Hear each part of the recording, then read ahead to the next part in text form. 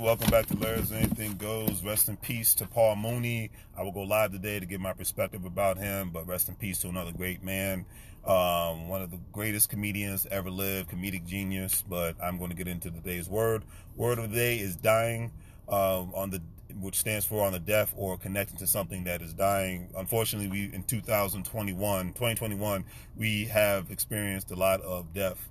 Um, and it's just unfortunate and that's why i chose this word today because it seems like no matter where you look you know somebody's passed away unfortunately a lot of rips and whatnot so i appreciate every single moment that you're alive um, today's quote of the day is by Mr. Elon Musk. He stated, People work better when they know what the goal is and why. And that's true. A lot of times people don't uh, want to actually put the work in because they're like, well, what is the specific goal? What is the measure that we're working towards here? Or are we just doing this for the sake of doing this? The, that old school term known as busy work.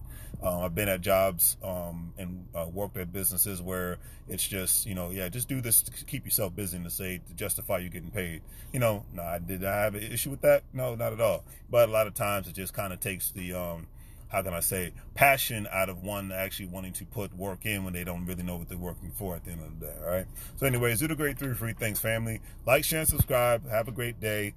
Make money moves. You'll continuously live broke like a fool. And real talk, enjoy every single moment you have on this planet because you never know when it's going to be your last. Take care, family.